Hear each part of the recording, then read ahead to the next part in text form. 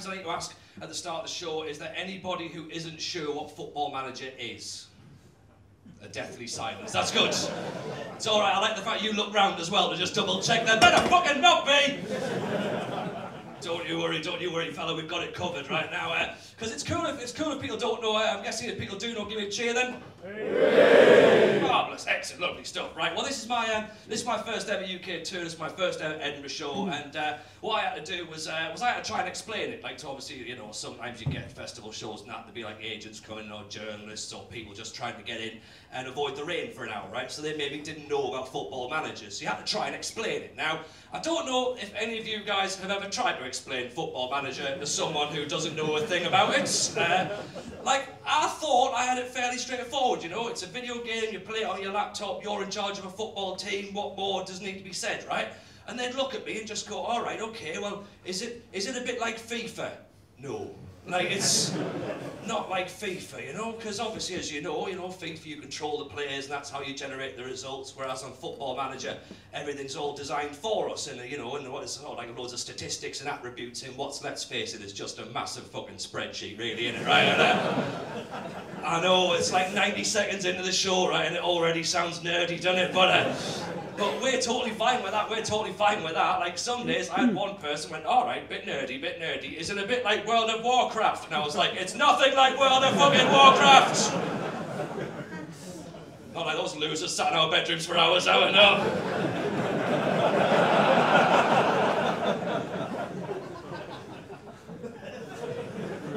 It's very different, very different. With them, it's all orcs and axes, but with us, it's all sheepskin jackets and left backs. Completely different game. Uh, but some people were saying, oh, is it a little bit like the fantasy leagues you maybe get at work? And I thought, all right, maybe a little bit like the fantasy leagues, you know, but I don't know about you, I find those a little bit too restrictive personally, you know? With them, all you do is you pick your players and that's about it, right? You know, whereas on Footy Manager, obviously, we've got a lot more to do, to be honest, right? You know, we buy and sell the players, you know, we could do all the contract negotiations, we even do the training schedules, which is fucking weird, right? Given the fact that I've only ever been to a gym once in my life. here I am tasked with coaching elite athletes. It doesn't seem fair somehow, does it? It's ridiculous, it's ridiculous. I remember going, I went to this gym once, I got this personal trainer, this fella called Greg. I thought, the irony, I'm getting a Greg's workout in a gym. And, uh, it's almost like you could smell sausage rolls on me or something. And, uh, and he, he gave me this metal bar with these metal wheels on it, barbell, I think he called it later. And he goes, uh, he goes, pick that up. And I'm like, all right, champions, pick it up and that. And he goes, oh, pick it up again. Like, all right, champion. He goes, pick it up again. I'm like, mate, do you even need this fucking thing or not? Uh, didn't, just a bell end, you know? Like, know, because apparently, because this is the thing, right? He lied to me. He said, "Oh, go to the gym. That's all about building confidence, right?" Now, you know what? I'm quite shallow. You want to build my confidence? Say you like my haircut. Say I've got a nice shirt on. Don't do what this dickhead did and just shout at me for an hour, like you know, by going, "Oh, you're gonna have to warm up. You're doing that wrong. You're gonna pull a muscle." And I'm like, uh, "I've used a water cooler before. I know exactly what I'm doing here." Didn't pull my hamstring out for three weeks. Orange injured. There you go. There's the uh, there's the first proper footy manager joke. Innit? You know, like no, send a physio or specialist. You know, you're not going to do that. So uh, so it's, uh, it's you know so there we are. We're sort of buying players, coaching players. You know, contract negotiations. It's it's football admin. That's what it is essentially. innit? It's football admin. Right, which is a strange thing because I'm a comedian.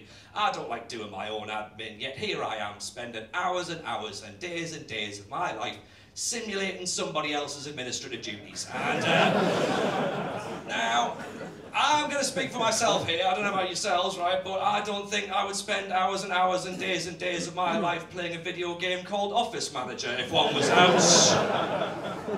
Where your main job on Office Manager is to restock staplers and maintain photocopiers, and then you have to negotiate Brenda's pay rise because there's been a little news item just turned up on your desk that morning saying she's been making noises about wanting a new challenge. And, uh,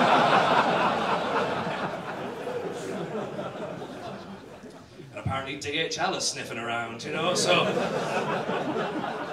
Just walking around with a little wanted thing on a name badge there. I think the best we can hope for an office manager is getting a little work experience lad who'd be like a wonder kid and uh, like just dub the new Bill Gates. That's about the best we can hope for there. Um, so we don't play that. We don't play that. We play this instead, which is probably for the best, to be honest. So uh, this show, this is a show that's all about obsession, delusion, and general idiocy from a bloke who should know a lot better, but clearly doesn't really. Uh, now, some of the questions, there's going to be a lot of questions during the show, um, some of which will be rhetorical, some of which we might be debate as the show goes on. Uh, first question I'm going to pose is, uh, is, is this one really? Is uh, why do a show all about Football Manager? Now, this was my first ever show that I actually wrote, and um, I spoke to a comedian friend of mine. I said, right, what am I supposed to do my first show about? He said, Tony, you're meant to do something that you feel quite passionate about, right? You know, so that's what you want to do. Feel passionate about it. You'll go on stage, you'll talk about it in an entertaining way. People will get on board with you. You'll have fun. I thought, brilliant. So I wrapped my brains a little bit. Thought about the only things I know anything about in this world. And it turns out it was beer, dinosaurs, and football manager. So, you know what? After a bit of research, turns out I knew shit all about dinosaurs. So,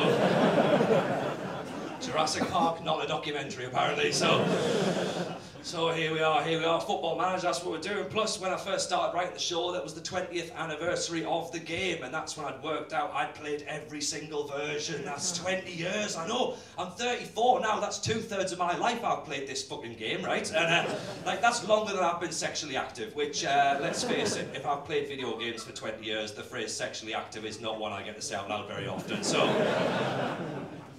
know, so here I am. I thought, all right, fair enough. 20 years in the game, right? It's become a big part of my life, and uh, and I tried, I tried to sort of work out. I go around sort of like you know various towns and cities and that doing the show. We did a few warm-up shows before the before the tour started. Warm-up shows, pre-season friendlies, I called them. Uh, and uh, we did we did one in Leicester, right? And I asked the guys. I said, I'll ask you guys yourselves, like how long you played the game. Give me a cheer if you've played five years. Nobody. Okay, there's one person gone. Everyone else gone. We've all gone, mate. Uh, uh, anyone played ten? 15? Yeah. Yeah, 20? Yeah, brilliant. Fair play, lads, for sticking into it, right? I got this one lad in Leicester, goes to him, I goes, how long you played the game? He just looked me straight in the eye and just went, I'm five years clean, mate. I was like, wow! That's a side ball right there, and I was not expecting that, you know? I was like, five years clean? Like, because I didn't think you could be addicted to video games. I didn't think that was even a thing, right? But, because, I mean, call me old-fashioned, right? I always associate addiction with, you know, the old things, like drinking, drugs, and gambling, you know? But video games, nah, having none of that. None of that at all, you know? But then again, I suppose if we look at it slightly differently, you know, everyone plays that old bloody Candy Crush and that on their phones these days. And, you know, when I got my first Game Boy, I was playing Tetris till the Game Boy broke, and university was just a rack of spliffs and four-player GoldenEye till the sun came up, so... yeah, yeah, fucking, yeah. One-shot golden guns in the facility on it, yeah. Halcyon days, halcyon days. Not big headboard, because that was for pricks, wasn't it? We all know that. Um, so, so maybe, maybe, maybe you can be addicted, right? Maybe you can be addicted, possibly, okay? So I thought, you know what? Maybe I need to work this out, right? Am I, am I an addict, or as I like to think, am I an enthusiast? Now, I think I'm an enthusiast who just can't stop playing. That's where I think I go, right? you know, but, uh, but it turns out that some of the things I've done because of this game suggest that maybe I'm not an enthusiast at all, suggest that maybe I am, in fact, a massive addict, okay? Now, this is a little test to see if we're going to get on for the next hour and a half of the show, okay, right? If you've done any of these sorts of things that I've done, then we're all going to get along perfectly fine, right? Because Footy Manager, it brings out, how do we put this, a side to us, right? That, uh, that some people outside of this room might think is a little bit strange, okay? Now, uh, I'll give you an example, I'll give you an example, right? Did I once sneak out of a friend's wedding, right, to go, yeah. Right, I snuck out the wedding, right, to go back to the hotel room to load the laptop up to finish off transfer deadline day. That's what I did. It's fine. I knew how the wedding was going to turn out, but was that left back in a sign? I've got no idea. And, then, and then he did sign, and then I met the bride and groom later on in the day, and they were like, "Oh, it's a marvelous day, isn't it?" And I'm like, "It's a brilliant day. You know why?" Finally, that problem position is filled. Uh, Uh, so that, that's what I call stage one. That's what I call stage one. Uh, the second one was, uh, oh yeah, here. Did I once learn the Cameroon national anthem for my ill-fated 2018 World Cup qualification campaign?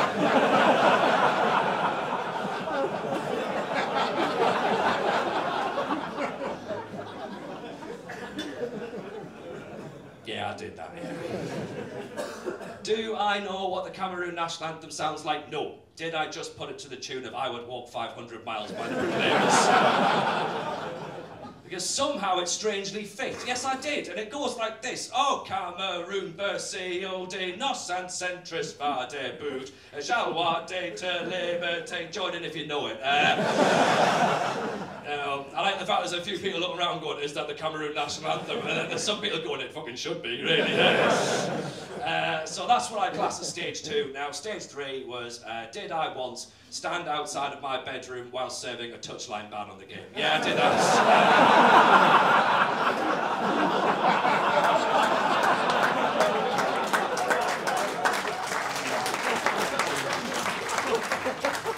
I mean, it does seem stupid, but rules are rules, aren't they, really? So. I once spent seven years trying to buy Dean Ashton and David Villa for the Aston Villa game so I'd have a strike force of Ashton Villa. Uh, so.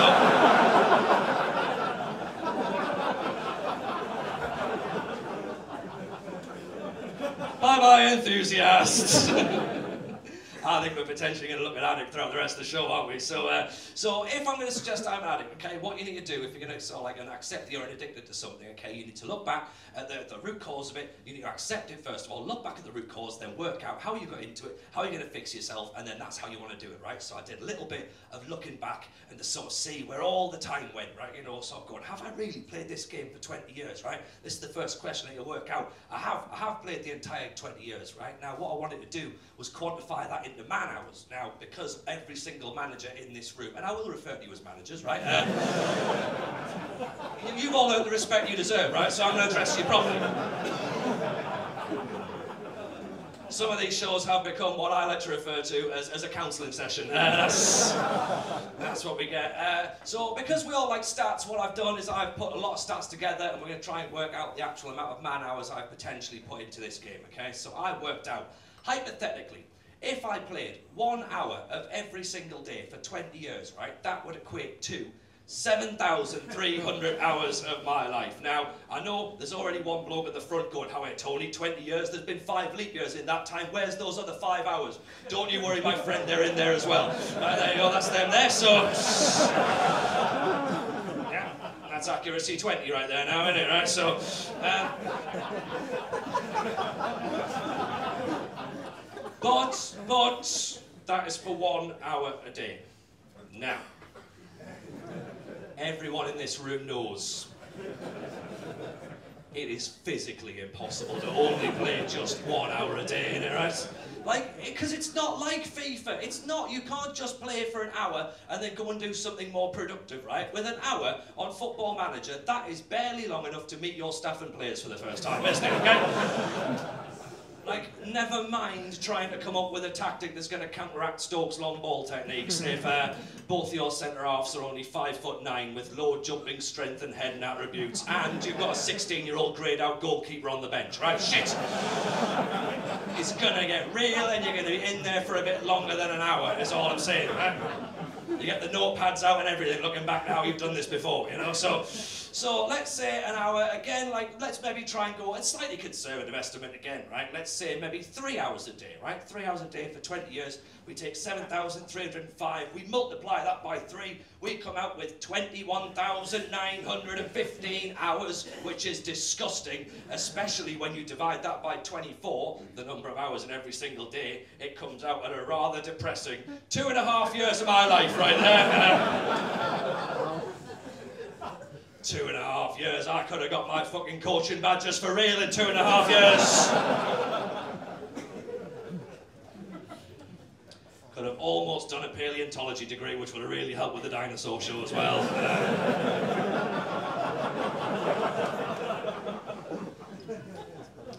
you know? Another thing I could have done, because another thing I could have done is I could have learned a second language. Could have learned a second language. That would have been quite useful, because that would have allowed me to manage in non-English speaking countries as well. Uh, don't know about you, you just take the AZ Alkmaar job, it gets very difficult when you change the game language to Dutch for no reason. Uh, don't know what you're saying, mate. I picked up a Steve McClaren accent and then I moved back. You know, so I could have learned a language, that would have been useful, right? You know, like 21,000 hours. Rosetta Stone reckons it only takes 96 hours to become fluent in a second language. 21,000 hours? I could learned 228 of the bastards, you know? But I didn't. I didn't. That would have been good though. That would have been good because that's how that's how Jose Mourinho got started, wasn't it? You know, he was Bobby Robson's interpreter at Porto, and he sort of went on to do all right in the world of football management. That would have been good, you know. But but no, I didn't do that. You know, that would have been a way into football. The closest I've ever got to being a footballer was editing myself into the database of Champ Man 98, 99. Right? That's. and yes, I had a maximum potential of 200. Of course I did. Right? I'm not an idiot. Uh, you know, because that's the thing. I wanted to be a footballer. I wanted to be a footballer. Like everyone in this room probably wanted to be a footballer at some point. In fact, I was a trequartista before I even had a word. Right there, that's where I am. But I wasn't very good. I wasn't very good, so I didn't end up doing that. Right. So there we go. We're looking at the whole 20 years. That's what I've done. That's the context. Okay. Now, what got me into playing this though? Right? Because like I say, if I'm going to say I'm an addict, right, we need to go right back. Okay. We've quantified the amount of time we've spent. What was the trigger? Right? How did I get into this? Now. Obviously, the game came out, first time it came out, 92, 93, right? Championship manager was called back then. Some people already looking around nodding, going, he knows his shit, this boy, right? Yeah. oh, I've researched it, don't you worry about that, right? And uh, if anyone wants to go old school at any point, feel free, just hit the space bar, right? I'll talk quicker. Uh,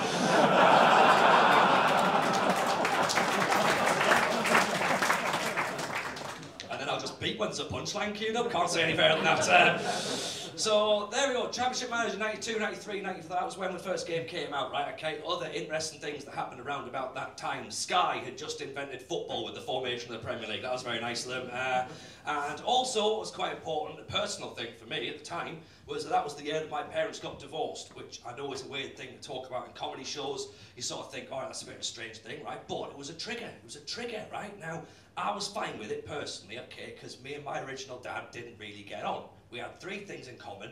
My surname, this fucking nose, right? And, uh, and he was the fella that got me into football in the first place, right? That's all we had in common. Now, I'm a little lad from Washington, right? That's where I'm originally from, okay? Now, when I was growing up, picking my football team, as you know, Washington's very split down the middle, right? Black and white and red and white. And I didn't want to just lose half of my mates by picking one or the other. So I lost all of my mates by deciding to be an Aston Villa fan aged eight, right? Which was a fucking stupid decision I have still not lived out, right? You know, and that's the thing, right? That does affect you, right? You pick your football team, you can't change it, right? Everyone in this room knows you can't change your football team, right? The only time you're allowed to have feelings for another football club is if you've managed them for 10 straight seasons on any version of Football Manager, right? That's that's the thing, you know. And, uh, and, I, and I, was, I, was speak, I was speaking to a few people recently, and they were saying, "Oh, you know, like, what's the big draw of this game? What's the draw?" And I'm like, going, "Well, it gives every one of us the chance to work out whether we're better than the actual manager who's in charge now, you know." And I'll be honest, I've played the new footy manager, right? 15, very, very good. And you know what? Paul Lambert is doing a very good job in very difficult circumstances. I don't know what we're on his back for, to be honest. Uh, you know, and, that, and, that's the thing. That's the thing, right? So, like I said, parents got divorced. Now, right? I'd played all the gateway drugs, you know, like Dino Dini's goal, kick off, Sensible Soccer, that sort of thing, right? So, like, obviously, this new one was going to come along, and of course, I was going to take it, right? Of course, I was going to take it. You know, up there, up in my bedroom on my old Amiga. Of course, it was on the old Amiga, wasn't it, right? Uh, but there was no, there was no internet back in those days as well, right? So when Mum's downstairs not being very happy, I'm upstairs on the on the Amiga playing my game. She knows I'm not looking at internet pornography because the internet's not invented. I'm trying to find a new Slovenian winger on a very limited database. You know, and then doing loads of printouts to put in the A4 ring binder for who's going to work well with Chris Armstrong. That's what I was doing there. So. Oh, I've all done it. Don't look at me and think I'm the only dickhead in the room, right? You know.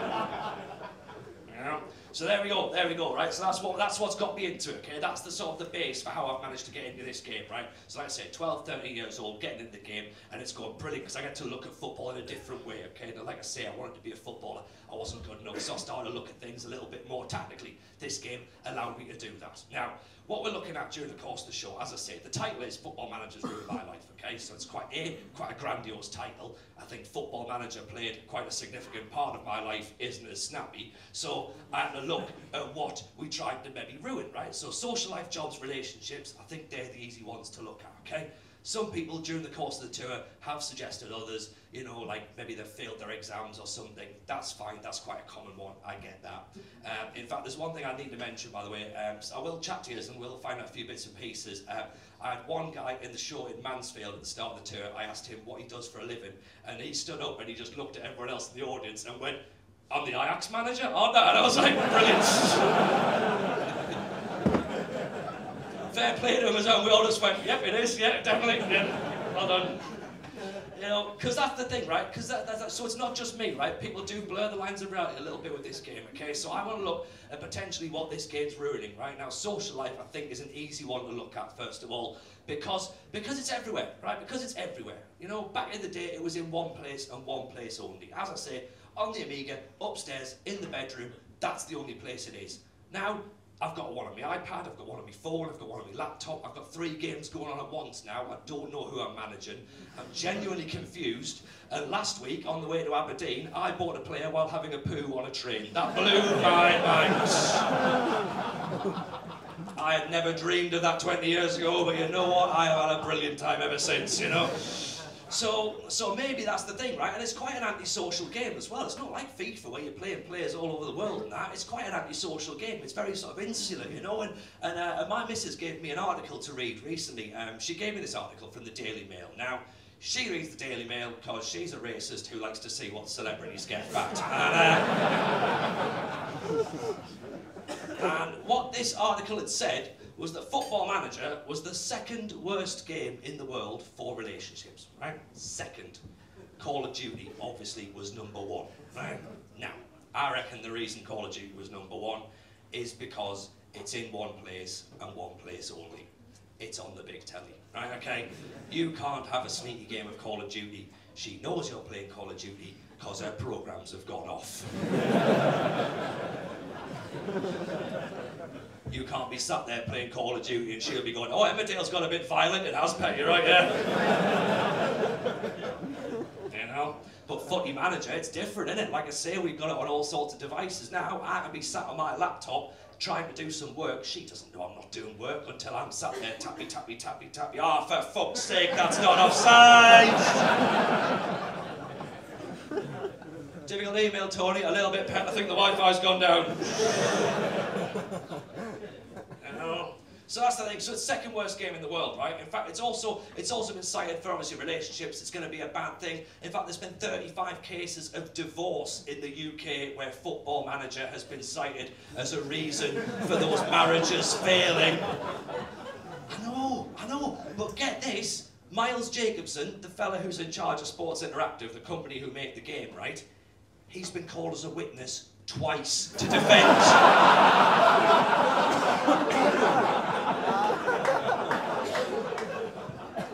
it's not his fault, is it, really? You know? You can't go to court and go, right, well, look, to be honest, you know, if their marriage is in that much trouble, okay, that they are arguing whether Emile Heskey is a viable option as a target man slash secondary striker, and then, you know what, I think their marriage has got bigger troubles than that, you know, because everybody in this room knows that Emile Heskey, no matter whether it's in the real world or the virtual world, is never a viable option to be a target man slash second striker. I mean, look at this big daft bastard here, right? This is...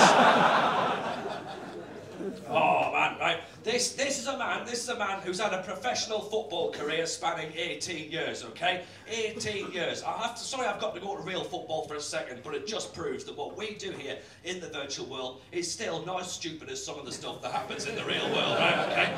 Because you know what? You couldn't make this up, right? He has played 563 times at league level, okay, where he scored 125 league goals. A terrible ratio for a striker. That's one in four, right? Cancer is one in three. Now, just...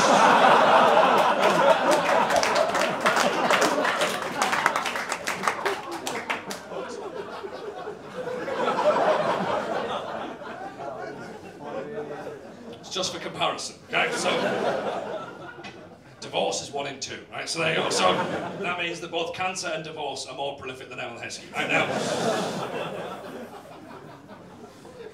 now, this is the point though, where some people will try and defend Emile Heskey, right? They will say, oh, you know what, but that's not Heskey's game, is it? Goal scoring, right? He's the first striker who got away with not scoring goals, right? Apparently, his job in the world is to hold the ball up, to bring others into play, to run the channels, to lay it off, to get assists. I thought, fine, let's have a look at his assist record as well. now, 18 years as a professional footballer, Emile Heskey has 15 assists. yep. less than one a season, um, the same as Shola Ameobi, and in fact, one more than Phil Neville. And you know what, right? I like Phil Neville as a utility man, but I would not play him as a second striker, you know? So, of course, let us not forget he's played international football as well. He has 62 times he's graced the field for England, scored seven goals in that time. I mean, again, it's woeful, it's woeful, right? So, I thought we need to have a comparison here, right? International level. Let's look at some of the players who've played around about the same amount of times as Emile, see if anyone else has got a better goal scoring ratio. And you know what? I was quite surprised with one person I found. A fella called Andy Selva. Now, Andy Selva, some of you may or may not know, Andy Selva plays for San Marino. That's right, San fucking Reno. you remember them, don't you? Yeah, right. He has played 58 times for San Marino, scored eight goals. San Marino have only scored 19 goals in their entire fucking history as well. So, so Emile Heskey is shitter than a postman from San Marino. That's. That's what we're looking at here. And I'm sorry for getting wound up. I am sorry for getting wound up. I shouldn't get wound up. This is real football. I can't control real football. We need to look at the virtual world, you know. But because I'd like to think that I'd be, if I was a manager, I'd be as in the video, like the suited and booted. That's what I'd go for, you know. Not that sort of paedophile PE teacher look that of was in the 70s, you know.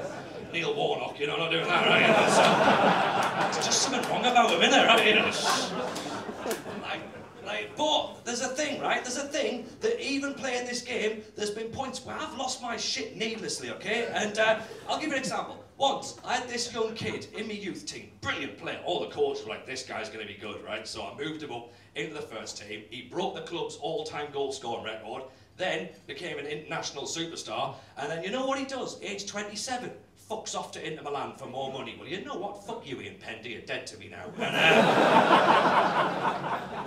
uh, it's a regen as well, you know. I'm getting angry at a random name in a database here. That's maybe a bit too far, isn't it, you know? Uh, but, uh, but yeah, so there you go. So, like, obviously, you know, things might have been different. Things might have been different, right? Maybe if I'd not played this game, things might have been different, okay? Having said that, maybe if my parents hadn't got divorced, maybe things would be different again.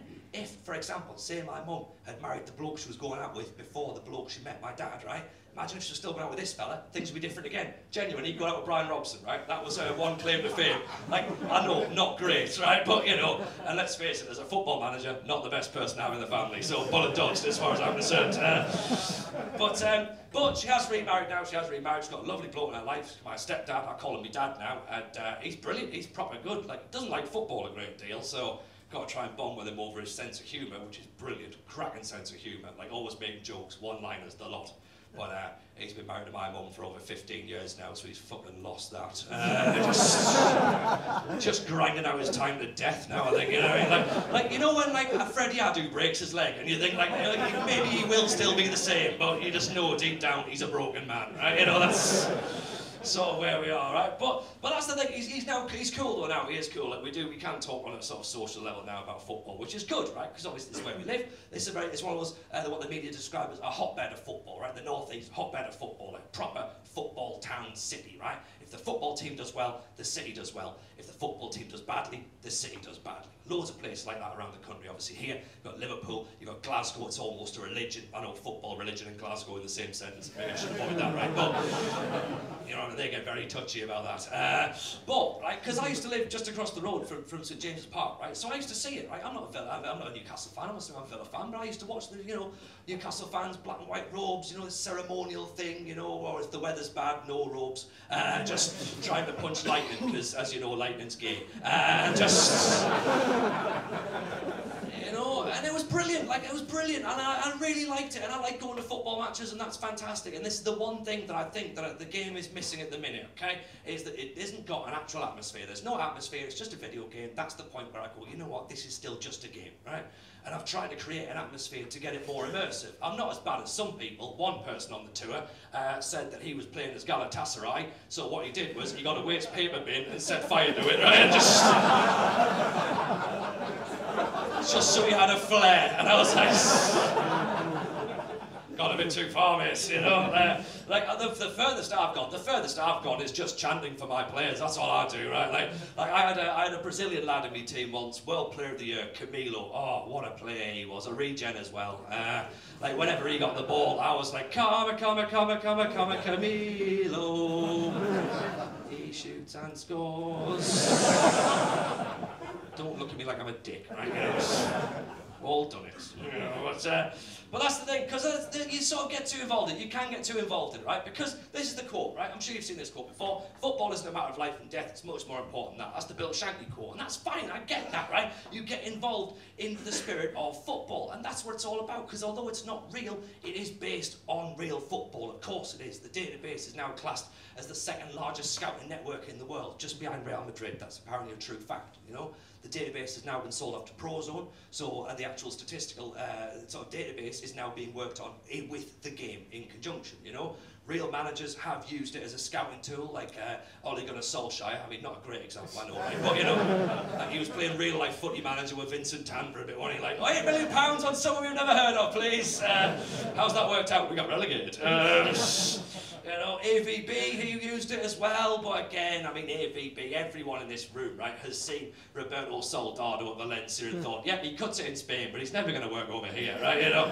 So nobody ever buys Roberto Soldado. And then David Moyes, apparently, when he was at Everton, he used to use it all the time, scouting players and stuff. Obviously, when he went to Man U, lost his laptop. Uh, just, just, bring the big Belgian bloke, shall we? Uh, we'll do. Um, you know, and there's things in the game where you sort of look at it and go, right, that's brilliant, you know, because that then becomes a real thing. Like, I don't know if you remember the story of Alex McLeish's son, who apparently discovered Lionel Messi when he was in the Barcelona B team, said to his dad, oh, come on, we need to try and buy this guy, he becomes the greatest player in the world. And uh, Rangers apparently did make a bid to sign Lionel Messi and Iniesta. Didn't happen thankfully. Because imagine them two, age 16, walking down Sauchiehall Street. Their eyes would have been like, it's like Jurassic Park in high heels here. And, you know, like, boss, why is there two fat lasses getting fingered behind a bin? I'm scared.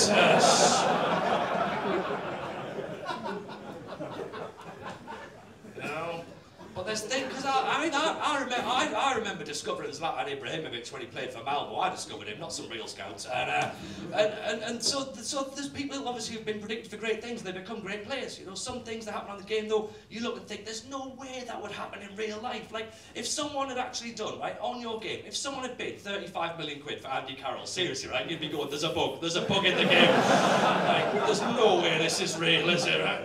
You know, but for everything that the game predicts, and some things do go well, there's obviously a collection of things that don't go so well, okay? So, as an example, a perfect example is, is this lad here. This is Nii Lamptey. Oh, look at him. Look at Nii. Look at his lovely little face there. Oh, the Ghanaian Pele. Uh, that's what he was. He was attacking midfield forward, right, left and centre, championship manager 93, 94. You buy him, you win the league. Simple as that. Uh, 2.3 million, even better than Paul Warhurst. That's how good he was, right? Yeah, bless someone applauding at the back going, yeah, you can play everywhere on the right side, yeah right? Oh, he was brilliant. He was a brilliant player. And um, like, what happened was, what had happened was uh, around the time, 93, 94, uh, I'd gone back to, because uh, I was at school, I'd gone back to a friend of mine's for some lunch, uh, a couple of quick games of Champ Manager Italia, uh, half an hour to load up, so you got loads of time to do your lunch, right? So we thought, you know what we'll do? We'll catch up on the old footy gossip, uh, but obviously, like I said, no internet back in those days, so it's all teletext page 302. And then uh, once you've done that, quick game of bamboozle if you've got time. Uh, and, so,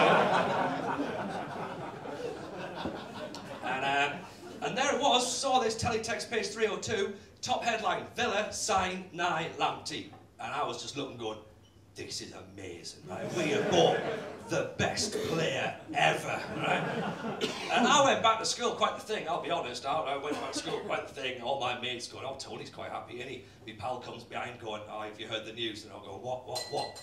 Villa's, Villa's just signed Nii Lamptey, right? And obviously we all knew our footy manager, Villa's going to win the league. They bought the best player in the world, I mean, it didn't quite work out because Nii Lamptey was a bit shit, really, to be honest. Uh,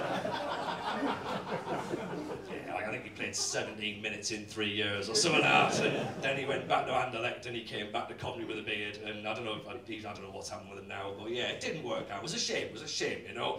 Like we could have bought Mark Collis and Ferrero Roscoe as well. I mean, I know they weren't real, but still. Uh, you know, so what we did was, what we did, if me and a couple of mates of mine, before this tour started, we decided that we'd sit down and have a little look at who we thought the best players on the game were who turned out to be a little bit shit in real life. And, uh, we've decided to come up with, with what we believe is the top 11. Uh, we'll go through these. Then we're going to have then we're going to have half time where we all go for oranges and rub downs. uh, and then we come back in the second half. Okay. So uh, in the style of the hit parade, let's have a little look and see who we've got. So uh, Sean, if the music, please. Now, goalkeepers are quite tricky to buy, but I thought that £700,000 worth of Vincent Enyeama is not a bad shout, is it? Good start, good start. Uh, right back, I wanted a man who was playing in League One, but was a, an international footballer the second you bought him. It's uh, Burnley's Mike Duffman Duff. Yeah. This is the point where you get people going, I'm fucking bought in! Left back, left back, I want the British Roberto Carlos from 2007, Leicester City's Joe Mattock. That's who goes in there. Yeah. Central defence, central defence, the most reliable defender known to man. He can play anywhere midfield and the defence. The man shoved the new Jamie Carragher, but without own goal scoring capabilities. It's Crewe Alexandra and now Sunderland's Billy Jones. He's got to be in there, clearly. Uh, now, who are we going to partner Billy Jones with? Billy Jones, very reliable centre half. We want someone a little bit more unpredictable, shall we say. Maybe we don't have much money, so we'll scout the free transfer section. That's what we'll do, and we'll find the one and only Taribo!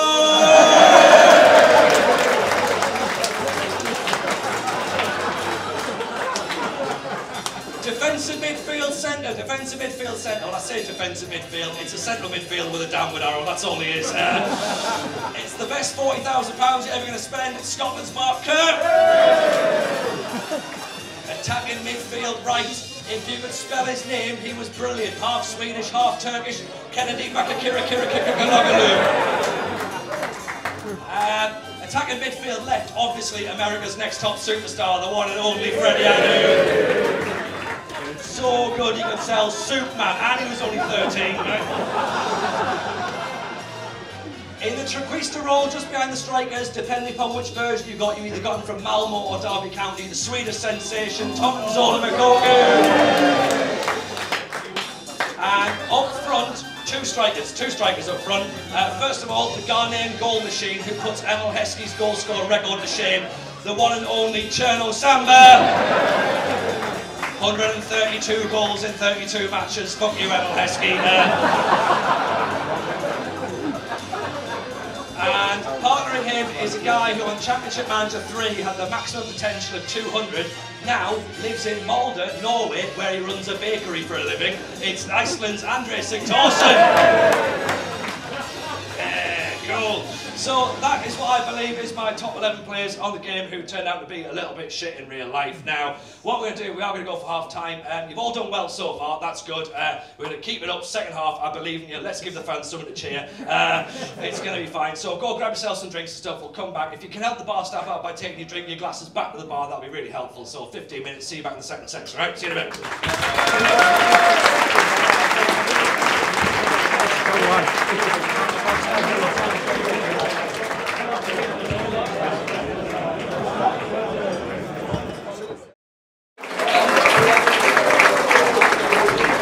Welcome back, welcome back, welcome back, ladies and gentlemen. Uh, guess we all had a nice break. People go and get drinks. Hey, well done. excellent, lovely stuff. So, um, yes, oh, it's going to kick off now. Brilliant, I like that. Uh, well, I'm going to drink. Uh, so yeah, so we, we left the uh, we left the end of the first half uh, looking back at the uh, the players. Obviously, we thought were quite quite good. Uh, turned out to be a little bit shit in the game. Now, um, this is the point where I want you guys to chuck some more names because obviously we only got 11 there, so you're not going to get the whole thing down there. So there'll be some people that you guys go, I can't believe you don't mention Stefan Selakovic. Right? Don't worry. You'll be annoyed. You'll be amazed at how angry some people get. You know when you don't mention Stefan Selakovic at the start of the show. Uh, so anyone else you think should have been on the list? Dean Keates. Dean Keates, yes, exactly, my man. You know what I'm talking about.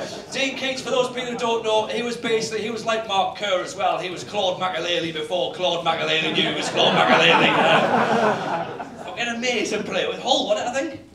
Yeah, Walsall. Walsall, that's right, that's right. Sorry, yeah, yeah, yeah. So yeah, Dean. Favourite run, stagger me. Yes, and you know what? You deserve a round of applause being able to say that name properly. Yes. He's not on the list because I couldn't spell it. So there you go.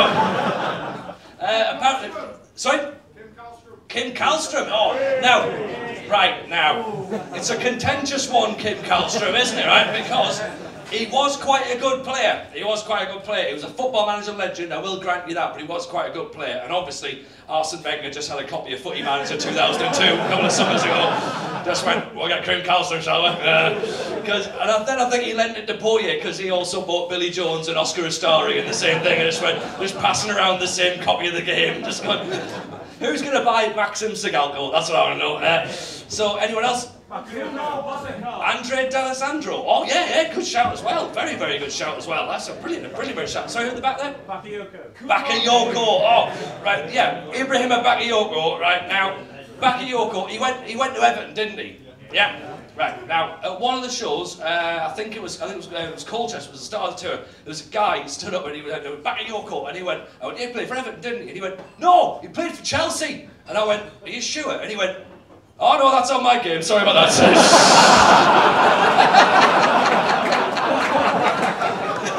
Brilliant, that, isn't it? Because that happens, you just you get like totally like mixed into it, don't you? Like you end up with arguments and mates going, "No, that definitely happened. That definitely happened," and you go, "Uh, "It may not have happened. No, no, it's, fine." You know, like because I get into chats with mates and that, and it's like whenever there's a player linked with someone in real life, and like we don't know anything about it, they're all going, "Who does anyone know about this guy here?" And I'm going, "He's all right, I'm a footy manager. All right, all right." Says, says he's a wing back, but you know, move him a bit forward, creativity 17, cut him inside, get loads of goals. Uh, uh, obviously, like some people, obviously we, we haven't managed to get some of the people you, you guys have mentioned. I've also made my, my what I call my backup list, my squad list. Now, uh, this uh, goalkeepers were difficult ones, by the way. I know I went for Enyeama, right? Oh, and he had quite a good World Cup.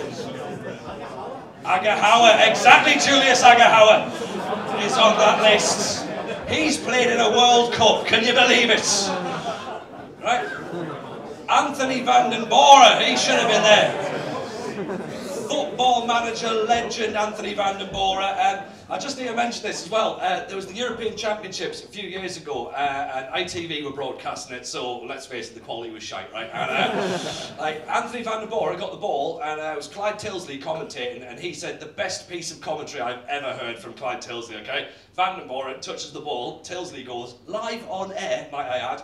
Apparently, if you buy this player and train him up on a popular management simulation game, he becomes a world beater. Brilliant! oh, like, that's the best bit of football commentary known to man, isn't it?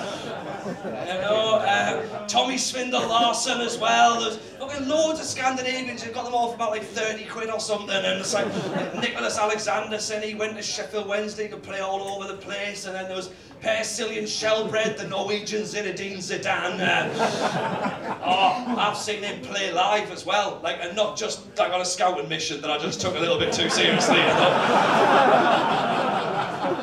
Well, I'll only buy players I've seen, and, uh, and, and there's a ferry from Shields, so let's go and have a look, right? Amazing that was true, wouldn't it? And, uh, but no, I went, I saw, I saw him play for Rosenborg, and uh, they were playing Molde at the time, uh, who, yes, they did have Magne Hoseth in the team, uh, attacking midfield, forward, left, right, and centre. Uh, again, very, very good player, but a bit crap in real life. And uh, so Rosenborg had, uh, had, Skjelbred in there. They had Big John Carew up front as well. He was bossing the whole thing. He already looked like a good player. And I saw Skjelbred, and I was like, "There's me, man. That's the man. He's going to be amazing. Everything's going to be fine. And I'm just going to have to try and find someone to talk to when I get back to the UK, right?" Ball came him about three minutes in, bounced over his foot, and I went, "You're fucking shit, you!" went back home and sold him straight away. Spent the rest of the night going, what have I done? I've made a terrible mistake.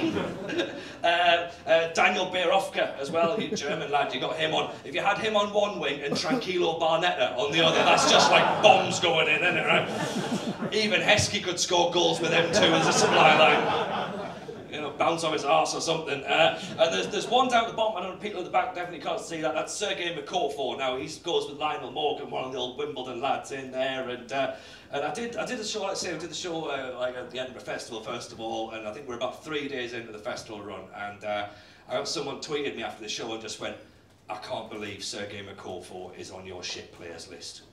I've got his name on the back of my Grimsby shirt. And I was,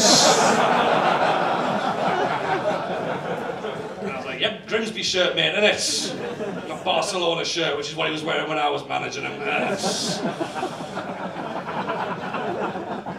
You've seen the list of clubs he's had. It's like it's fucking long, man, right? So, so yeah. So I think it's safe to say that maybe Football Manager ruined their lives. There was no way they could live up to the hype in the game and stuff, and that's fine. And we've obviously looked at, at other bits and bobs. You know, we looked at social life a little bit. We looked like a bit of relationships, jobs. I think another obvious one where it's maybe affected me more than maybe it should have done. Um, I remember because uh, before I did this, I was uh, I was a college lecturer. Uh, and if anyone's curious as to how long you can blag a career in teaching, by the way, uh, before someone realises you don't know what you're doing and uh, you don't really give a fuck. Uh, eight, eight years. eight years, not a single wonder kid. How shit is that? well, taught film production as well. Not really teaching, let's be honest. I used to get guys coming in every day going, Tony, what we learned today? And I'd be like, you're watching Cool Runnings when I get rid of this fucking hangover. That's what you're doing. oh, God. Oh, this laptop's hooked up to the projector, this laptop's got the Europa League final on, you decide which one I'm playing with, you know. And, you know, it was crap, right? Didn't matter whether you put the desks in a 4-2-3-1 or 4-3-3. Those little bastards never learn any quicker. Uh, and, um, and I used to say, I was terrible, terrible all that. I used to send them off to Blockbuster Video under the guys that work experience in the film industry, and uh, can't do that now that Blockbuster Video's closed. And uh, then Jessops went, and then Woolworths went, and I thought, oh, where are they're going to graduate to. Uh, and then, of course, obviously the high street started crumbling, and I was just going, I was panicking. I was like, oh no, the high street's just going to be one bloke at the bottom of the street with an iPad going, I'm doing an Amazon order, does anybody want anything?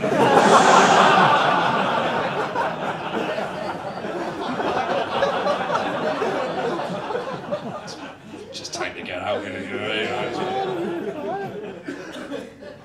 some people ask me, some people ask me, they go, Tony, Tony, was, was teaching, was teaching really that bad? Yes, it was, right? Yes, it was. And it ties in with, uh, with the worst moments of my life, both emotionally and physically, and also the worst moments of my life, football manager-wise. Right now, uh, picture the scene, okay, it's a few years back. Um, I'd just been offered the chance to go uh, and get a new job in Birmingham, uh, a teaching job, by the way, not a footy manager job. Uh, not managing the Blue Noses, come on, right? Uh, so, so I thought, right, I'll move to Birmingham, that'll be fine, that can work out okay, you know, because I get to see the Villa every other couple of weekends. That'll be fun. Uh, what can possibly go wrong? Uh, and it turned out that quite a lot went wrong quite quickly, to be honest, because uh, the teaching job was shit, right? That lied to me in the thing, said, oh, it's going to be really fun. It wasn't, right? And the, the, the management of the, the sort of college, they were starting to put a lot of pressure on me very quickly. They wanted results instantly, and I was going, look, the youth setup's terrible, right? You're not going to get anything here. Like, you need to invest, you know, I know how this works, right?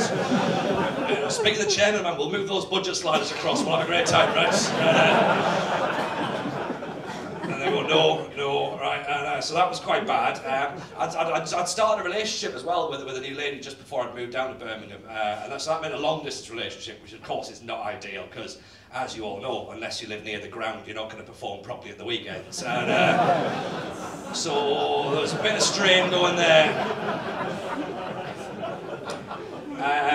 And then and then I also got a phone call from my mum saying her and my stepdad were arguing again at that point, and they were, their relationship was a bit rocky and that, and they were sort of thinking about breaking up, and I'd always seen them as sort of my, my board essentially. You know, they were the ones I went to when I was skint, and I was like, so it's a little bit like when there's a takeover happening, and you know you're not allowed any money at all. You're like, oh, this is shit, this like you know.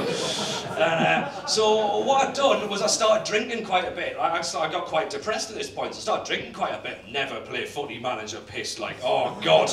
Like waking up the next morning going, what 37 million for a 17 year old Romanian right back? What the hell am I done here? Bankrupted the club.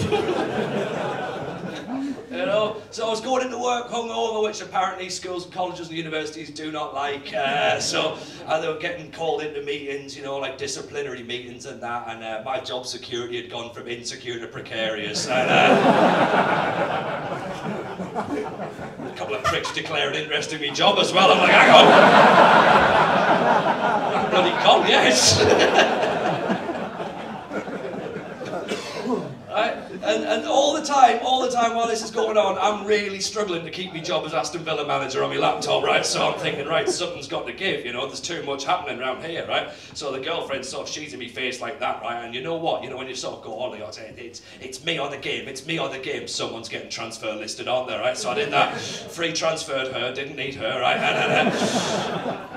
uh, and then so like obviously more arguments with mum and dad, and then so more drinking, and obviously struggling with the game and struggling with college and work, and going right, something's got to give here, something's got to give, and I made a decision which I still stand by today. I quit my teaching job to save my Aston Villa career.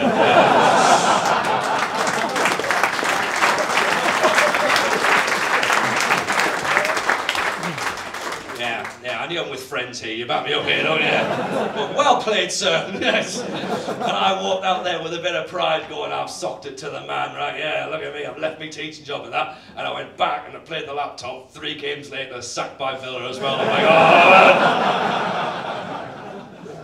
lost everything. Lost. I've lost two jobs, a girlfriend. it's got this is shit, right?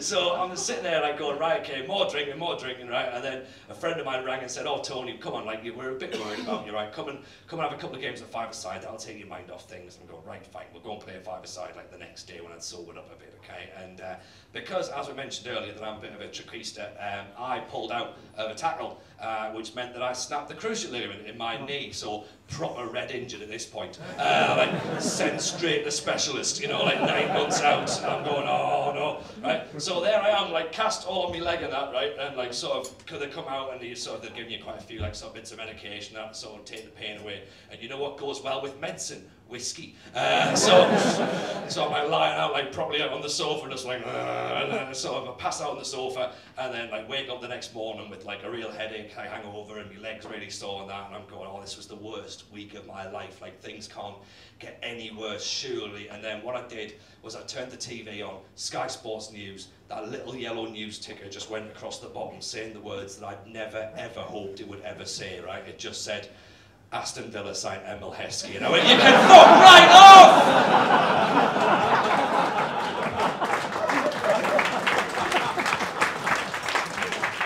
Oh my God, have you ever thrown a crutch at a television before, right? I mean, I mean, Emile Heskey tried once, took out some of my drywall, but you know, it's just, oh. Like, I don't know if you know the story about this. Apparently, at the time, Martin O'Neill got offered a fella called Radamel Falcao for four million quid and thought that Emile Heskey for four million quid was a better idea, right? Ridiculous, you know? So there I am, sat there going, I'm going to have to leave now, right? There's no way I can stay in Birmingham where Emile Heskey's making a career and I'm not. So I was like, right, pack my bags back up, I'm going to go, right? But I didn't know where to go because uh, I couldn't move back in with mum and dad because obviously I was 32 at the time. That's, you know, a bit weird there, busy arguing that. I'm not in a good place, can't go back there. So I decided to go and try and like re- sort of reconcile with the, with the with the girlfriend, you know, and you know what contract negotiations are like, you know, like. Eventually, we agreed a three-year deal with an option to extend. So. Uh, moved back up here, uh, which was cool. It was really good, to be honest. And like, and I don't remember like a lot of the move because obviously, like I said, I was quite medicated. And um, and like where we used to have in the flat, we used to have this this coffee table on the, in the front room. Now I don't remember this happening, okay, but um, in the coffee table was Football Manager 2010, a classic version, I'm sure you'll agree, right? Yeah, that 2010, 2007, 2001 and 2. I know it sounds like we're talking about fine wine here, but you know. 2002, a lovely drop, yeah, yeah, yeah, right? So 2010's down there, right? And uh, I'm sort of laid up on the sofa and that, and I wasn't going to play footy manager, I was fed up, right? Got sacked by Villa and thought, you know what, nah, me and you's done, right? I'm not playing it ever again. And you know, you know, you know when it whispers at you, right? Like, does, right? So I was there, and I was like laying on the sofa, and it was like, Tony, Tony, do you want to have another game, do you? And I'm like, no, right? He goes, oh, go on, man, you've got nothing else to do, have you? I'm like, well, you made a good point here, to be honest, right? You know, six months of just lying around doing bugger all, I suppose. So yeah, might as well, fine, right, whatever, I'll do it, right? So I did it. I put the laptop on, loaded up Football Manager 2010, and I thought, you know what? I'm going to do something that I've not done before and play with my rules now, right? Not being Villa, because, you know, you've let me down, right? So I want to take a new challenge. I want to go from the bottom, right? And I didn't care what happened, right? You know, so because I was going to pick a club that I had no affiliation with, no feelings towards. If they sacked me, it wasn't a trouble. I was going to a little journeyman career, have a lovely little time, right? Go and see the world. That's what I thought I was going to do, right? And, uh, and, um, and, and so what I did was, what I did, I wanted something that was sort of similar to how I felt emotionally at the time, because I felt quite low. So like I say, go right at the bottom. I'm going to go blue square north. That's what I'm going to do. Pick a team that I don't care about. That team was Blyth Spartans. Right, uh, yeah, yeah. Well, the thing was, right, I just figured it was close to home, so I didn't have to move again, right, you know, so... Quite frankly, Harrogate Town can fuck right off, as far as I'm concerned. They're the south, right, so... Took Blyth Spartans, because I didn't really care at the time. I just thought, you know what, take Blyth Spartans, that'll be fun. Right? But that was until I spent 35 seasons with them. Yeah, right, yeah. Taking them from Blue Square North to not just the Premier League title, but to the European Champions League title as well. Yes, you're right to applaud, you're right to applaud. That is an achievement. Some people still looking around going, I don't think that is an achievement. That fucking is, right? That's like giving someone from Byker Grove an Oscar. You're not going to see this happen in the real world, are you? no. And I did what any man my age would do when I won the Premier League title with Blyth Spartans. I text all my mates to say, you're not going to believe it, this is incredible. Then, right, get this, got told off two hours later when my missus came home from work and found me pissed and covered in champagne, right?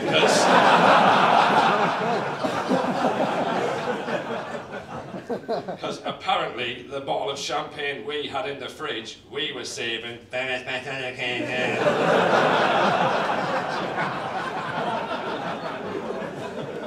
like, what special occasion is there than winning the Premier League title with a non-league football club for the first time? No idea, no idea. Eight seasons later, that's what it was, wasn't it? Champions League day. Oh, big day, big day for the club, big day for me personally as well. Uh, you know, so like I had to have a bit of a celebration, really, get a bit of atmosphere going on. You know, Champions League final. So I downloaded the Champions League music to put on my laptop to play for the match. And, uh, um, I put my suit on, obviously, right? So proud day for the club. It's the European Champions League. You can't turn on your pajamas; they'll think you're a dick, right? So, suits on, right? Champions League music's playing, suits on. I remember we were playing in Russia, so I opened a window to let a bit of draft come through.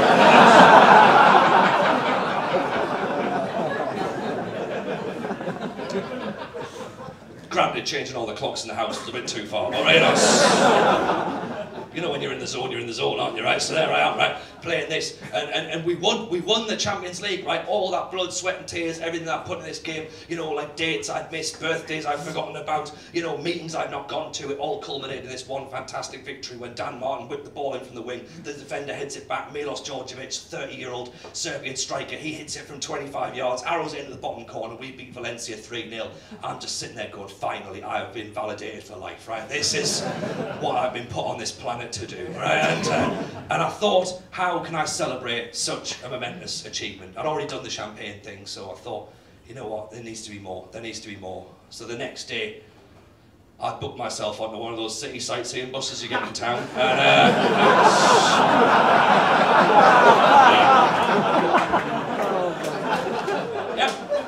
gave myself an open top bus ride in Newcastle to celebrate.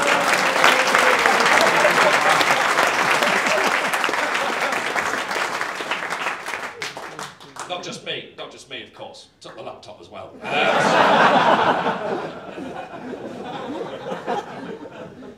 Players' trophy, it wasn't mine. Um, maybe the tinfoil European Cup was a bit too far, but never mind. Uh, but yeah, so basically, I think potentially enthusiast has well and truly fucked off. Really, uh, we're, we're looking at it. We're looking at it, and that's fine. I'm happy with that. I'm happy with that, right? Because obviously, you know, like uh, that's not the worst thing that we've done. You know, there's been bits and pieces, obviously other stuff I was building up that career where maybe I did get a little bit too involved. You know, like I know I shouldn't be the only bloke who has a Blyth Spartan shirt with a regen player's name and number on the back. I really should not be the person who has two Blyth Spartan shirts with regen players' names and numbers on the back, and I should not have autographed them both. And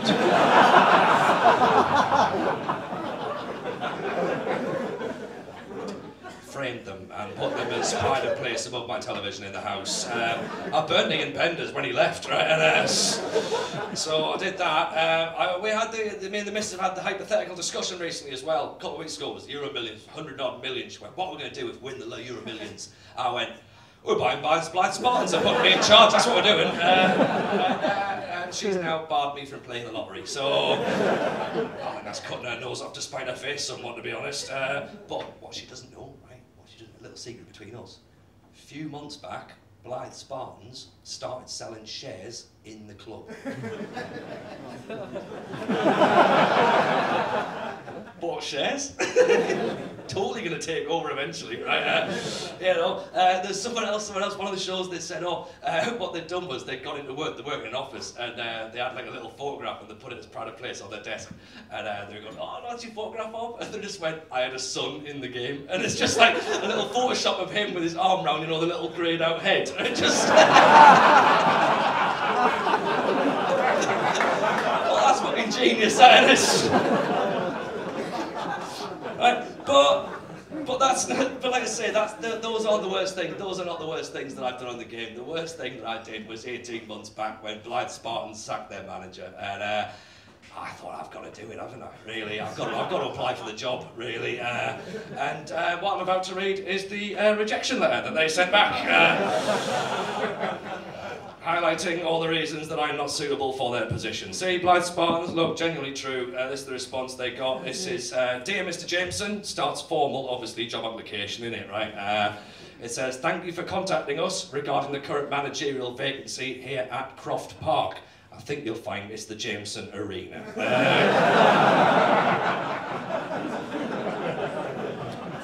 Sixty-five thousand seats. There's only forty thousand people living fucking Blyth, mate.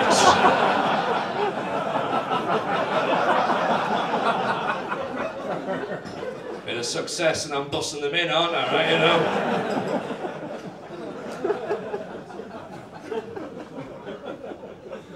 So yeah, thank you for contacting us. Your application certainly raised some interesting points, and by cross-referencing them against the criteria specified for the role in question, we would like to deal with each of these in turn. 35 years worth of managerial experience is certainly very impressive. Although the fact you signed it from Tony Jameson, aged 32 and three quarters. that left us slightly confused.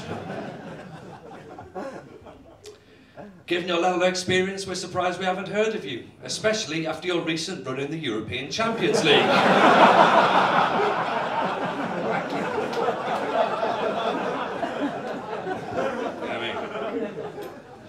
Unless, unless of course you were that bloke we saw a couple of months back on the city tour bus with his laptop singing "We Are the Champions." Nitpicking, aren't they? Right? I know they're nitpicking, I do, right? Because there was a bit on the online application form where they wanted to know what I knew about football tactics, right? 21,000 hours, double expert in football tactics right here, right? I know football tactics inside out, and maybe naively I thought that perhaps they didn't, right? So I thought I'd put it in layman's terms, right? Spell it out in the most simplistic way possible. This, see if they can understand football tactics. I reckon you've got to hold and give, but do it at the right time.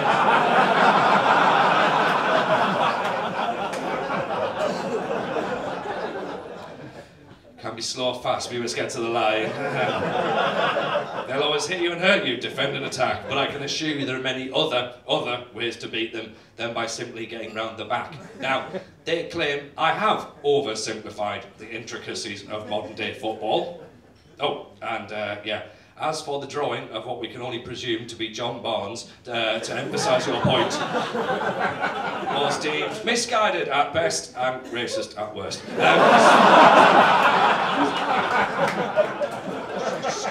a little bit. Uh, um, oh, more, more nitpicking. Given the current economic climate and the fact we're a non-league football club, we feel it would be unwise to erect a bronze statue of you outside the ground to mark your achievements with the Spartans. Everything I've done for them. Right? Then it goes yada yada yada, like some actual reasons, like football manager's not real, I'm not qualified, like real bullshit stuff that just won't stand up in court, right? You know. Says, after addressing these points, we would like to take this opportunity to thank you for contacting us. But we feel that given your lack of experience, we will not be taking your application any further. Good luck on your next European campaign. Kind regards, Ian Evans, General Manager, Blyth Spartans FC. Aged 53 in real life, but in your game, either 88 or possibly deceased. So. I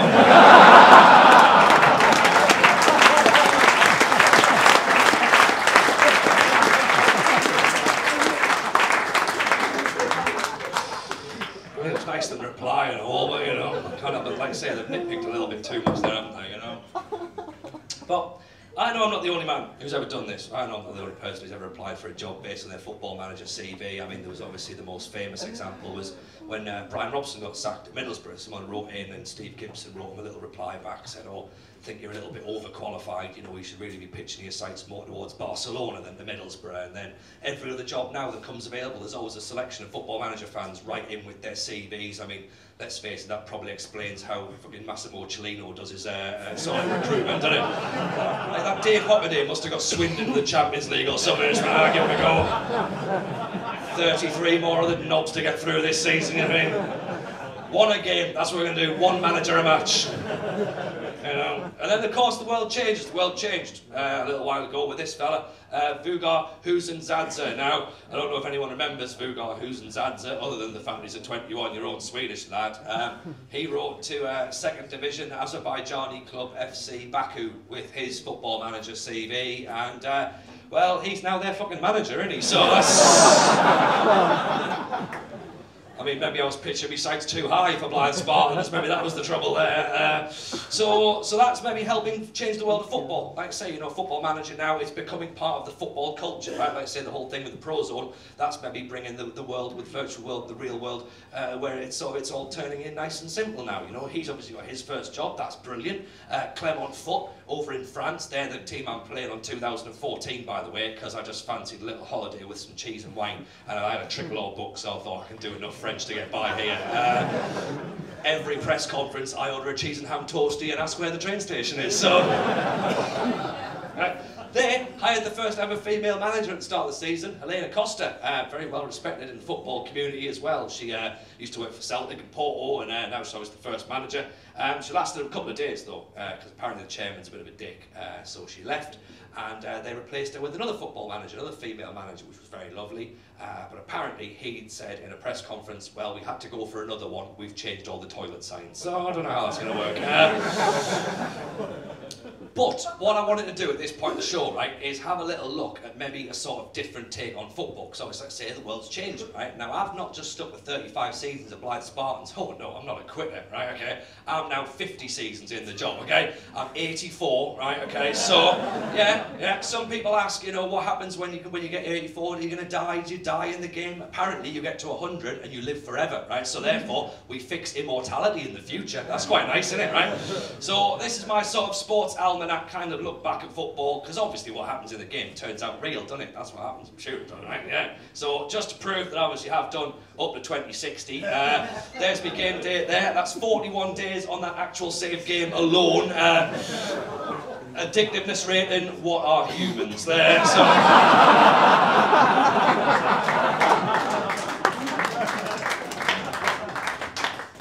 So, and like I say again, we'll, we'll back all this up, right? So, there you go. I've, had, I've been playing the game that long, my hair's changed slightly from this. Uh, also, I've, I've developed glasses now as well. I've not developed glasses, you don't develop glasses, do? I've, I've been given, uh, I'm now bespectacled. Uh, and I remember when I went to the opticians and they went, well, you've got to get glasses. I was like, I thought I wouldn't be too happy about it. But then I put them on, and with the beard, the first words I said was, I'm totally the new Jurgen Klopp though, aren't I? Right, so... I'm gonna get a big Parker and just start shouting at things now. Uh, so yeah, there you go, 84. Um, uh, I must point out there's a slight mistake here. There is a slight mistake, right? I do need to apologise because I can't lead you down this path, right? Date of birth, 23rd of 2nd, 1975, right? That's not actually my date of birth. Right, this is 2010 version, so you start in 2009. Uh, my actual date of birth is the 23rd of the 2nd, 1980, but that would have made me 29 at the start of the game, and I didn't think it was realistic to have a 29-year-old manager. So they are just, yeah, that's the bit I'm questioning, innit? You know, that's the only bit I don't think is realistic here. Uh, obviously, I do become the greatest manager of all time, better than Alex Ferguson, and Mark Hughes, who apparently strangely becomes a fucking brilliant manager. Uh, I mean, look at that. 14 major trophies with Man City, right? Um, Igor Budan, by the way, Newcastle fans, is a regen manager who does quite well for us in the future. yeah, yeah. And, and Claudio Sinani, yeah. Oh, me and him had some battles along the way. Uh, so yeah, um, we'll look at the title. The Premier League doesn't change too much, apart from the fact that Spartans are about to win their 10th consecutive back-to-back title. Uh, Newcastle, you just do have quite a good run, by the way. at the top you. Um, you do win quite a few Premier Leagues. You win a couple of European Cups. Sunderland also do quite well. They play Champions League football regularly. Uh, Sheffield United win a European Cup, by the way. Uh, and Ched Evans has nothing to do with that.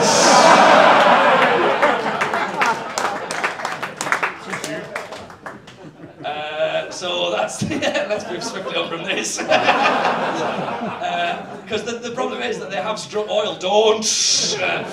Um, so this is the uh, this is the championship. Uh, again, not too much really changes, right? But you know how like every oh yeah, I know. I know. I said not much really changes, but you know how in football, right? Some teams have their day, and then there's maybe years pass, and eventually they get their day back again. Now, what happens? The sleeping giants, if you will, of Salisbury, Chelmsford and Vauxhall Motors. They, they all come back, my friends.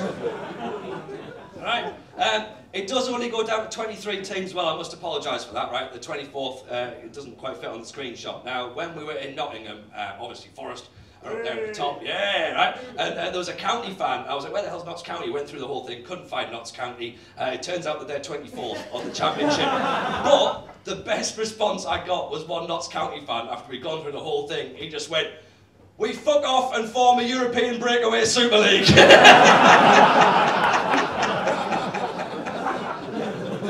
That's brilliant, you know, it's better than I thought. I was like, yeah, that's staying in. Uh, so, uh, yeah, yes, that's the championship there. Um, again, League One, not, I mean, Banbury obviously come back up. Uh, Banbury. I did, it, I did one of the two shows in Banbury and they all just went, all right, champion. they didn't care. Uh, Chester come back, uh, Hull, they, they slip down a wee bit. Southampton, they don't really have a great time. Cambridge. Uh, who else we got now? This is League Two. Uh, York haven't bothered fucking moving at all. They just stay there, one place above relegation for 50 years. just go, we're here because we like it why look up? You know, uh, Wolves, Wolves have gone down. Gainsborough, uh, Histon, Bath. Uh, you know, these are big clubs. These are big, big clubs, obviously.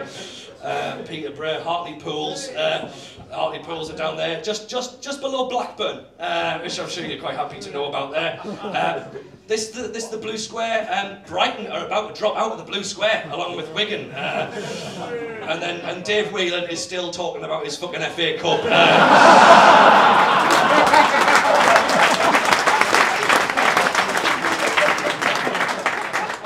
time you got relegated, Dave Whelan. Do you remember the time I was in the FA Cup?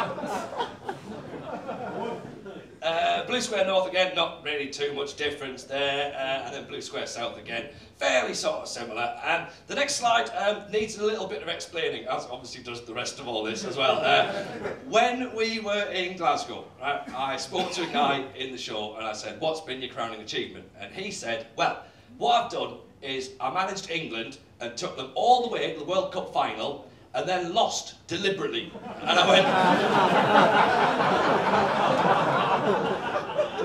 and I went, why? And he went, because I can't be fucked listening to them still going on for another 30 years. So, to be honest, it made him quite happy to look at the, at the World Cup uh, tables. Unfortunately, England don't win another World Cup uh, between now and 2058. I mean, the massive giants of Denmark win a World Cup, Serbia win a World Cup, Nigeria, presumably managed by Taribo West, win a World Cup. Also, also, it doesn't fucking go to Qatar. They don't get it. right, it changes hands. Uh, do, however, England do uh, win three back-to-back uh, European titles, but for many, many years down the line. Uh, so that's quite good. Um, and this next bit, this next bit, again, it's, it's weird to explain, but um, doing this show is kind of like, I know I'm saying the football manager ruining my life, okay, but it has allowed me uh, a few opportunities, which have been quite good and quite fun. Um, one uh, was was obviously there was a film came out a little while ago. I don't know if people saw the film. I was in that quite a lot. That was brilliant, um, and I never thought that that would actually happen, which is great. And then I went and had a meeting with the guys at Sports Interactive, and they said, "Oh look, what's your next plan after the tour?" And I said, "I don't know." And they went, "Would you like to write a book?" And I went, "What about?" And like I, I know, like, oh, a crime thriller, yeah. I mean, I'm quite clever, but even at that point, I was like, "You're on your own here now, dickhead." Right? what about? I mean, it was obviously fairly self-explanatory, right? They went, "Would you like to write a book about going to meet all your top 11 players?" Right? That would be quite good, wouldn't it? I went, "Hang on." You want me to go to Freddie Adu and ask him why he's shit? I don't think he's going to agree with that interview personally. Uh, but in the meeting, I then went, ah, how's about this? How's about I go and meet all of my Blyth Spartans players who won the Champions League? Yep. And then they looked back down the table at me and just went, but Tony, they're not real.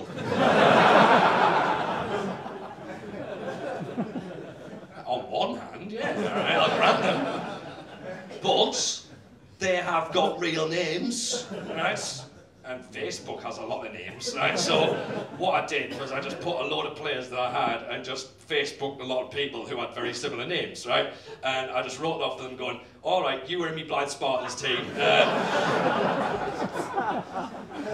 do you do you want to like hang out in that and like talk about the good old days, right? And uh, you know who's not very nice? A lot of people on Facebook, right? In particular, one person I was very upset about, Derek Reynolds. He's about to retire. He's a one-person man. He's a one-person man, one club man. He's been the legend of the club. He's about to retire. I shed a tear. I'm going, but Derek, Derek, Derek, come on, you've got to meet up with me. And he goes, no, I'm not a real player. I went, you are. This is what you've won, man, right? And I sent them all that.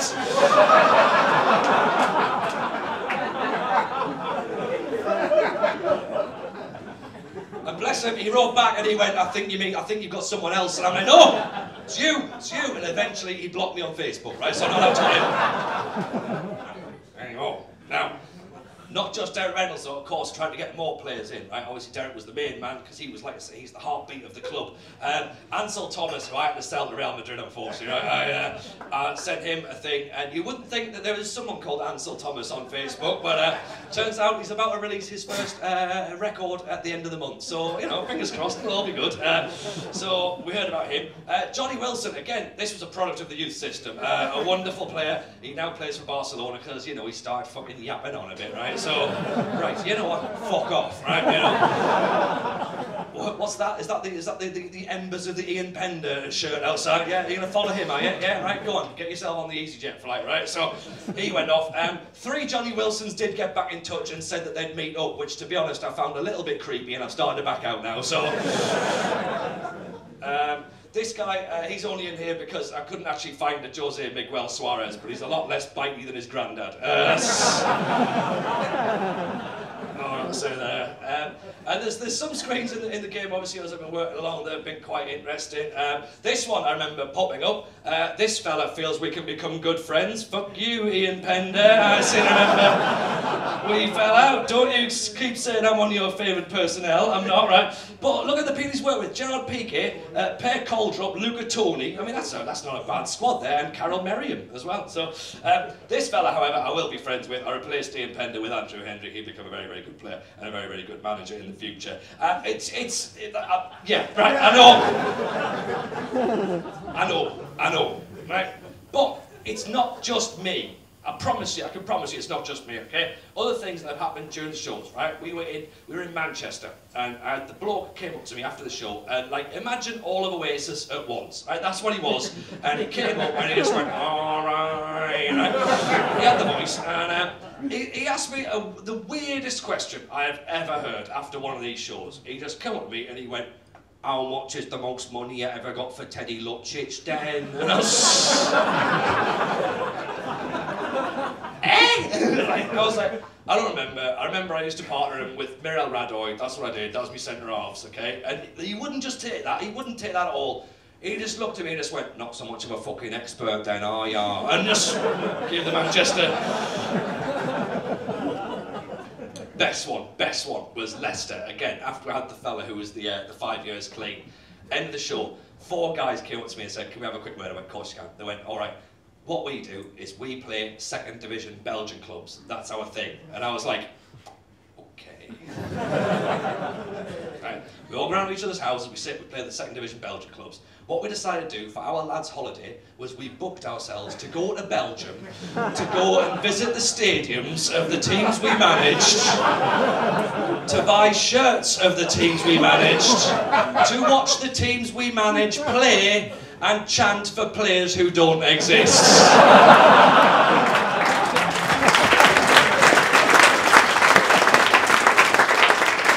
bravo, Leicester lads, bravo. You know, because that's the thing. I thought I had it quite bad. I thought I had it quite bad when we started the tour. I wanted to do the show uh, not just in comedy clubs and little art centres and theatres and stuff. I also wanted to do it at football clubs because I thought it sort of makes sense. You know, you've got a natural audience base there.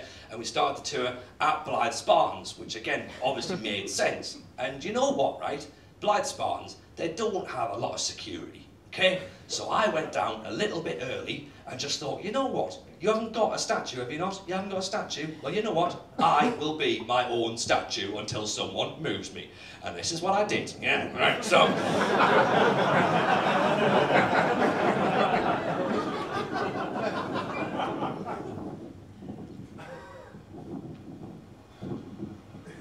Genuinely, no one around. It's fucking pointless. I put makeup on everything.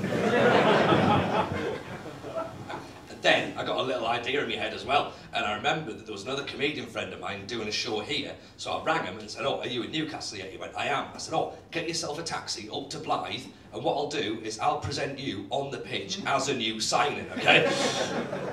Don't believe me? No, okay, fair enough.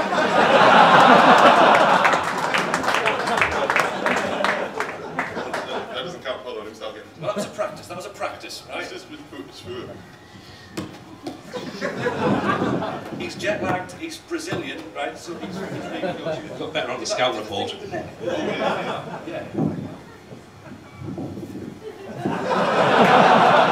Scales. You know what? It's hot, it's hot. It's hot, yeah. Look, look, it's been a long day. Look, you're tired. Let's get you back inside. We'll get you rubbed down and stuff, and it'll be fine. Yeah. Yeah, you'll be alright inside. Yeah. Excellent. Thank you.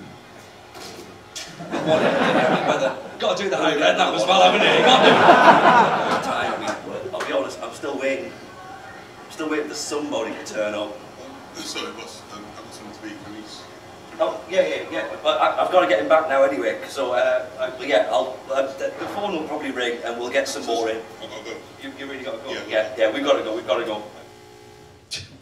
See, I'm fine with that. Bless you, bless you, sir. Um, so, uh, yeah, so like I said, I'm happy with the addict thing. Right? I'm totally happy with that. We're going to come towards the end of the show now, where I just need to do one final thing to wrap this up as to what else we think football managers ruined. Okay, we talked a little bit about relationships before. Now, the question, however, was what happened to the woman who I moved back to Newcastle with. Now, some of you in the front row might be quite observant.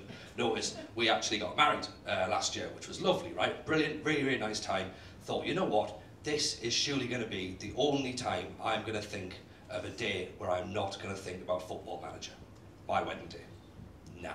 Right? can't even do it. Can't even do it, right? One day I can't even do it, okay? There I was, more on the wedding, okay? I got a phone call from the receptionist at the hotel saying, Tony, there's a little package waiting for you downstairs. You have to come and sign for it. So I went downstairs and it was a package from uh, Miles and the lads at Sports Interactive and it had a little note that said, Tony, it's her or us. And you know when you think, well, you know.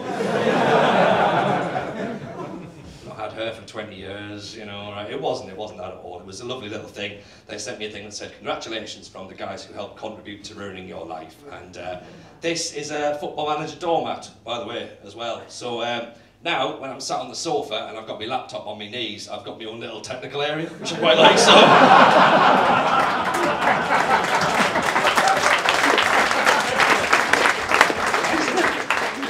you know, started to like try and move out, she goes, "Get back in there." Oh, sorry, love you. So, um, but um, but she's a big football fan as well. She's a big football fan. That's sort of one of the things that obviously kept us together. Um, and uh, when we were talking about the, the wedding and that, we spoke to the registrar and we said, "Look, is there anything we can do to sort of like have a little bit of a nod to the fact we're both football fans?" And she went, "Well, what do you mean?" And I was like, "Well."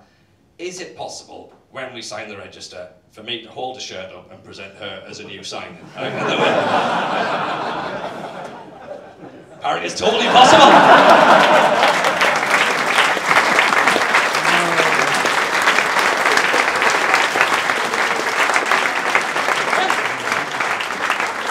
apparently, apparently, is ask, right? So, uh, uh, 23, by the way, is, is my is my squad number. That's what I used to wear when I was a player. Uh, uh, so that's always the number that we go with. Um, and this is true, and it's it's a strange coincidence. It is a very strange coincidence. We got married on the 18th of the 5th. Now, 23, obviously for Liverpool was Jamie Carragher. Villa at the time didn't have a number 23. 18, obviously for Liverpool was Dirk Kuyt. They also had number 5 for Daniel Agger. That would have been fine. Uh, Villa's number 5 was Richard Dunne. And number 18 was Emile fucking Heskey. So we went, we went with 23. Uh, and on the day, she said to me, she goes, oh, am I your best sign? And I went, you know Mark Kerr, are your pet? So, uh, So, um, so did Football Manager actually ruin my life? I think, yeah, that's fine. Yeah, totally. Yeah, I'm more than happy with that, though. I've, I've come to accept it. It is my life now. It is my life, okay? Like, everything that's done in the last 20 years has built up to this point, okay? Without Football Manager, none of this would be possible, okay? Like, I won't stop playing. I will not stop playing Football Manager. I got 15 a couple of weeks ago. Brilliant. And now look at this. My Christmas day when that turns up. I'm not going to stop playing until I get a fucking management job out of this, right? And even then, I'm going to use it as a scouting tool. That's what I'm going to do. Because it has, it's let me do some stuff that I never thought was possible, like the film, the tour. Uh, like, uh, hands up, by the way, who went to the end of season League Managers Awards dinner? Uh, this guy did, right? Yeah, genuinely. I thought I was going for my Lifetime Achievement Award, right? I got to take a piss next to Tony Pulis, best day of my life ever. Genuinely did. Like, and you know what? Gus Poyet, that's not his real face. Uh, so, I know that sentence makes no sense, but makes all the sense at the same time. Uh, and then a, a, little while ago, someone sent me a tweet as well, and they went, "Oh, uh, there's a lad just turned up in my youth system. I think you might recognise him." Turns out, I'm now in the game as well. Yeah, I mean, I look shit. Don't be honest. Uh, like, I presume I become a better manager than I'm a player. Uh, uh, someone said once, like, oh, why are you playing for Tottenham? I went, because I'm a fucking midfielder, that's why. So I just get stuck at Tottenham. eventually I'll play for Hull or something. Uh, so, so yeah, so my, my name's now in the database. Now what happens is that obviously there's now a possibility for a generation of, of loads of different Jameses and stuff. And now I spoke to the guys uh, just before the game, the 15 came out recently, and they said that they have to go through quite a rigorous process when they go through the database for what they class as anomalies uh, and problems because a few weeks back apparently they found a Rolf Harris in the database so yeah. yeah. and a Harold Shipman uh, lethal finisher praising the back of aging defenders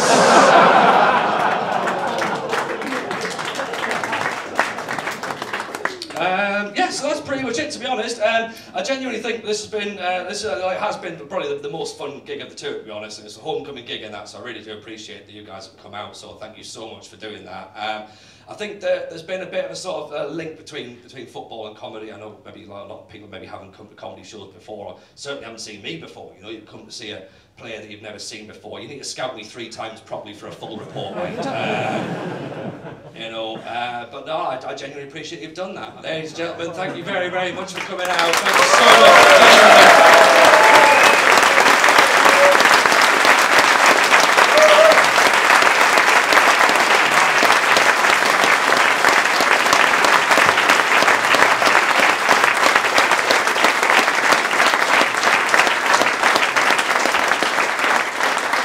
Ladies and gentlemen, I would like to say uh, a quick thank you. If you can give a round of applause, a massive round of applause to the Stand Comedy Club for helping me put this show on, by the way. They've it on serving drinks all night as well.